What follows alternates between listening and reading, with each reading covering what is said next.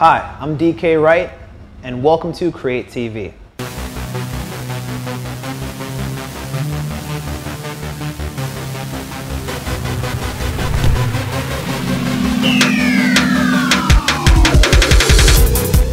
Hi everyone, I'm DK Wright with UrbanWord NYC. I am a digital media manager.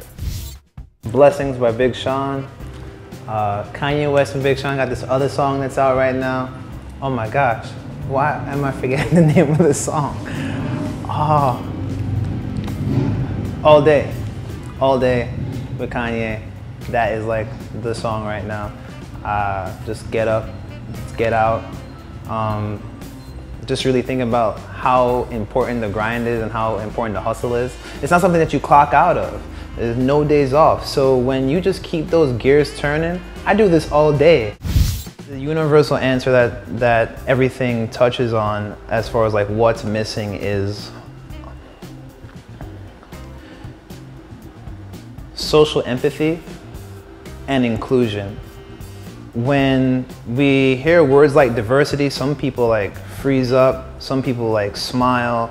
Um, it, it, has a lot of different guttural reactions to people.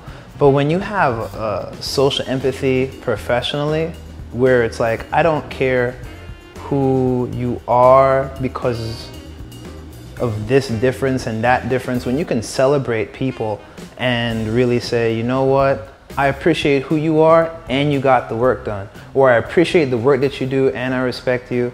I think that what's missing is that sometimes we'll not like something about a person and because we don't like them, that means we don't like the work they do, we don't like the legacy that they're creating, we close doors on them.